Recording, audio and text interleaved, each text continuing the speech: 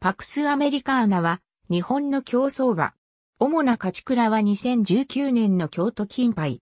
馬名の意味はアメリカによる平和。前姉は2012年のビクトリアマイルを制したホエールキャプチャ。2015年2月10日に北海道新日高町の千代田牧場で誕生。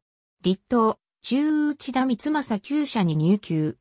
2017年8月13日の新潟芝1600メートルの新馬戦でデビューしたが、左回りの直線で内に持たれてしまい4着に敗れる。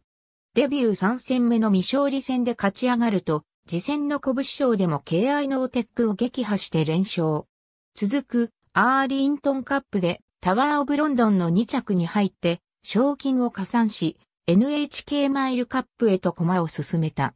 しかし、新馬戦以来2度目となる左回りでまたも直線で内に刺さる面が出て6着に敗れた。7ヶ月の休養明けのリゲルステークスでは2着に4馬審査をつける圧勝で復帰戦を飾った。2019年は指導戦の京都金杯で一番人気に応えて解消し、初の重賞勝ちを収めた。休養明けのマイラーズカップでは上がり3回32秒1の末足で3着に入ったが、レースの翌週に左前足の骨折が判明し、長期の休養に入った。以下の内容は netkeiba.com の情報に基づく。ありがとうございます。